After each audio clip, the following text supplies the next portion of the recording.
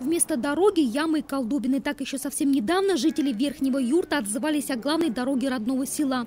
Причин такого плачевного состояния трассы на улице Абовяна много, говорят строители, но основное – движение грунта. В начале года э, на этой улице было потрачено уже 12 миллионов рублей.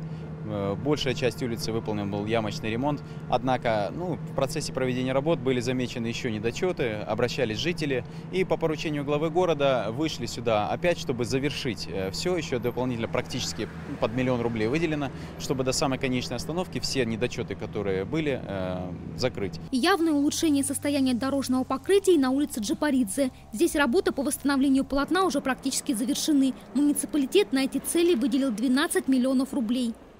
Со скорой помощью были проблемы. Да даже взять такси не хотели ездить, автобусы рейсовые также отказывались. Маршрут 102, он самый, по-моему, сложный был маршрут. Сейчас с большим удовольствием они ездят, так что эти вопросы уже решены.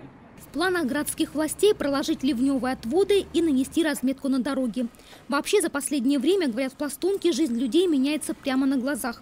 В селе начали прокладывать газопровод. На эти цели, помимо средств из краевого бюджета, из городской казны направлено более 20 миллионов рублей. В ближайшее время, обещают районные власти, будет полностью восстановлено уличное освещение. А в Верхнем Юрте накануне состоялось торжественное открытие двух футбольных полей.